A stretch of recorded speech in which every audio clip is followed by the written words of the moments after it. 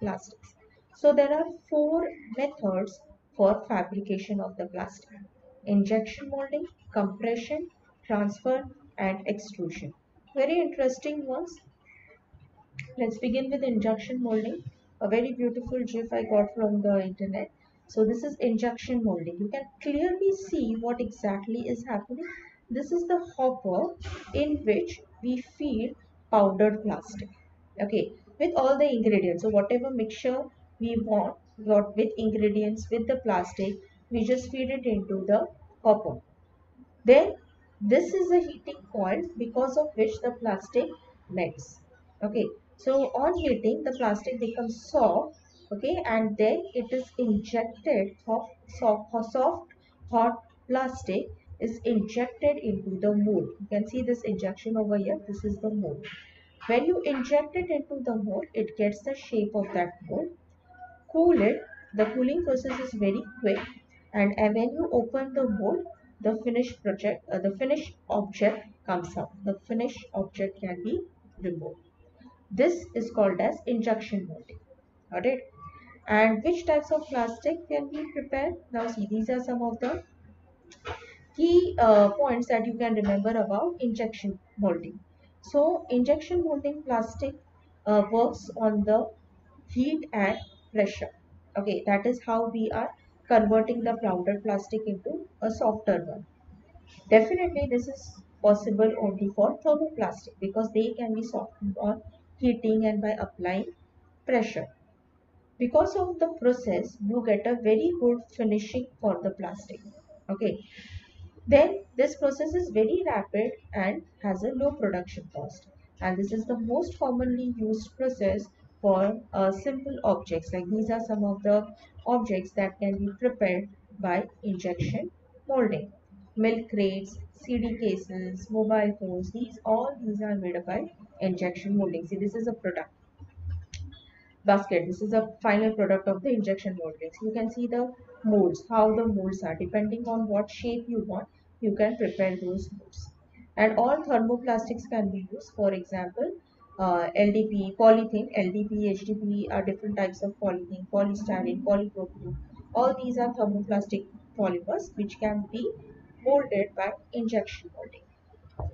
The next method is compression molding. Look at this image over here this is the plastic that we have taken in a mold and we just apply pressure from the top. So whatever is the shape of the mold will be acquired by the plastic. Okay. So compression molding is a process that molds molten plastic through compression into the desired shape of molding. So this is the dough this this this thing that we take as, as a plastic soft plastic this is called as a dough it's a polymer dough which is placed in the in the cavity and these are the two dies this is the upper die this is the lower die and then you just compress it. You just press it and you get the desired shape.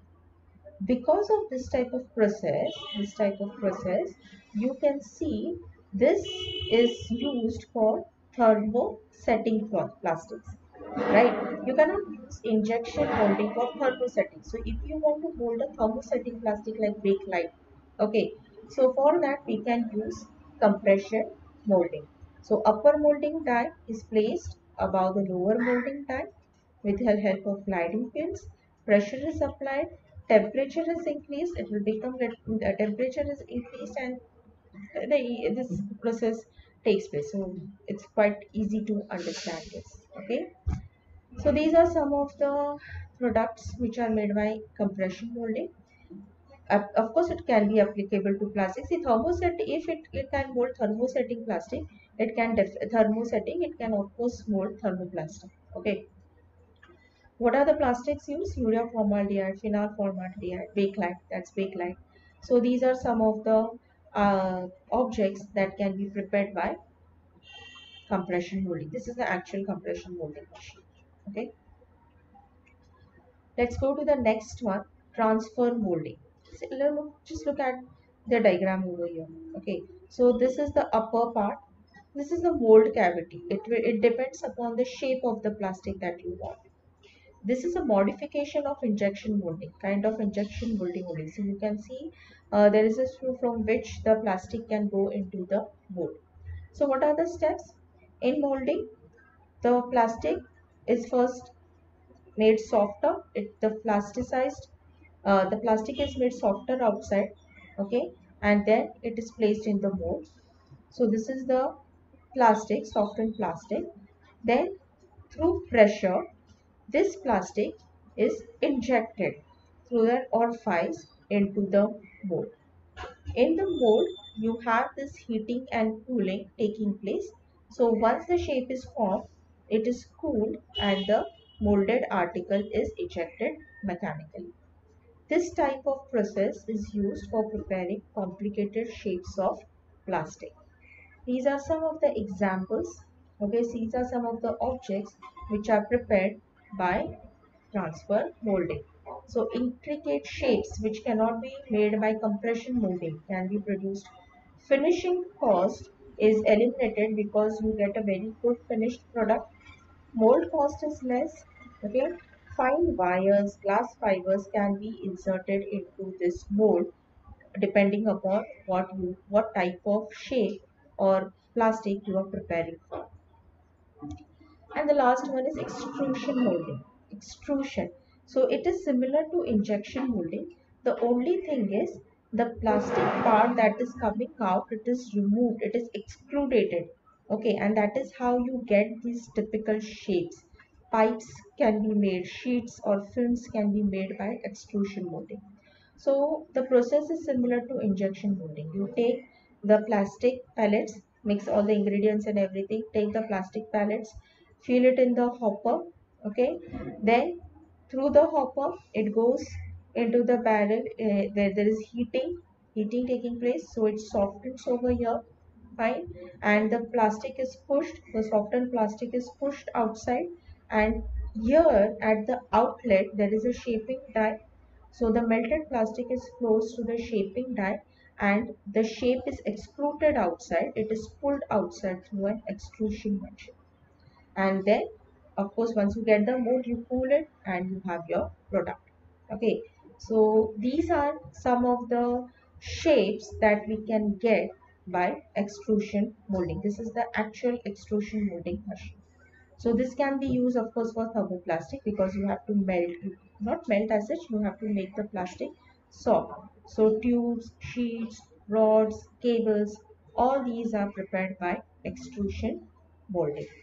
Okay, this is extrusion blow molding exclusively used for preparing shapes like bottles. Okay, so the once the plastic is extruded, blow some air into it, prepare a mold, separate mold over here. So the extruded part is inflated and once we get that uh, once we do that we because of the presence of the air and the outside shape of the mold the plastic substance expands and on cooling you get the particular or the typical mold or typical shape. This is called as extrusion mold molding. The is enough to explain it all right? So these are some of the articles that are prepared by extrusion molding exclusively i told you the exclusive like bottles cans all these typical articles can be prepared by extrusion molding. I hope you people have understood this. The next uh, video will be for these polymers. So you will get a detailed idea about all the uh, synthesis part uses part advantages disadvantages of these polymers. So let's keep the video short. I hope you people have understood this. I will end the video. Do watch the next series of the polymer chapter. Thank you for watching